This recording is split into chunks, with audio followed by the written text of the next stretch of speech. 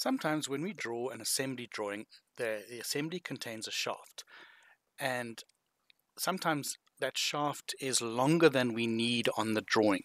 So we only draw what is called an interrupted view of a shaft. So this is an example of that, where we're not drawing the whole shaft. Um, part of the shaft on the left hand, no, sorry, on the right hand side here is missing because either we don't need it or there isn't space to draw it.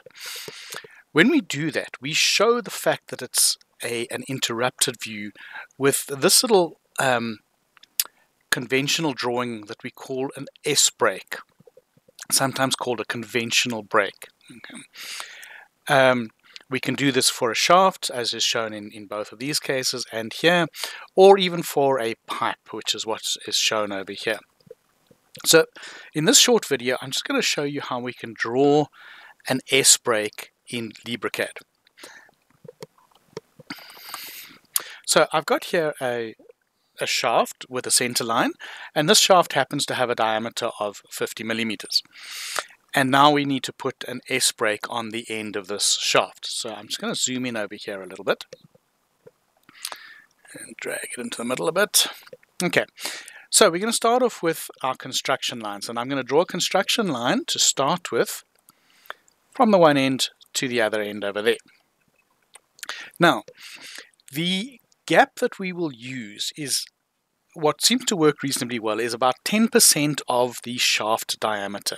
So remember this shaft has a diameter of, of 50, so 10% of that is 5. So to start with, I'm going to draw two parallel lines so I'm going to use the parallel tool and I'm going to set the gap to 5 millimeters. Okay. So, and then I'm going to draw a line that is parallel to this line that we've just used, this construction line that we've just connected the two ends of the shaft, or the two ends of these lines over here. So there I've got one at 5, and there's another one at 5. And in fact, I also want one on the inside of the, the two outlines of the, the shaft, also at a gap of 10% of the diameter.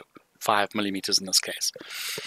Okay, and then I'm just going to tidy this up a little bit by using the trim tool. So I'm going to say trim to, and I'm going to trim this one to that one, and that one to this one, and then I'm going to trim this one and this one, and this one, and this one. So now we've got a kind of a little rectangle over here um, around the end of the shaft.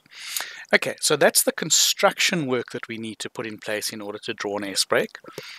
Now let's draw the S break itself. When we go back to the visible layer, and I'm going to use this tool here, a spline through points tool. Okay. And I'm going to start at the center point here, and then we can just basically draw the, the, the spline. So I'm going to click over there and then onto this corner, and then over here, and then this corner again, and then back to the center, this corner of the rectangle, and lastly on the end of the shaft. And then I can press escape to stop. And there we have an S break. Now, one of the problems, if you if you notice in the textbook, this S break is is neatly hatched in this oval part of it. Unfortunately, LibreCAD will not, um, cannot hatch inside of a spline. So we won't be able to hatch this, but what we've got here is is sufficient. So let me let me run through that again. This this this one is is this way up. I'm going to draw I'm going to draw it again, just the other way up for an example. So I'm going to undo that, and let's do that again.